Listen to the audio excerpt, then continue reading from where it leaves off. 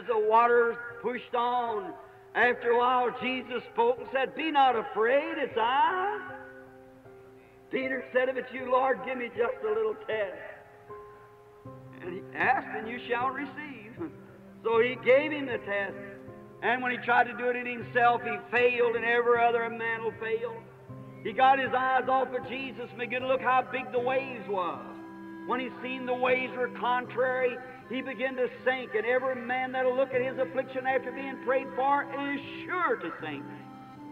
You don't look at your affliction, you keep your eyes on the promise giver, the Lord Jesus Christ. Keep your eyes on His Word. He's the one who promised. He watches over to perform it. He keeps it in the hollow of His hand. And in the depths of His heart, it's bedded. His words has to be true. Get your mind off your sickness, off your troubles.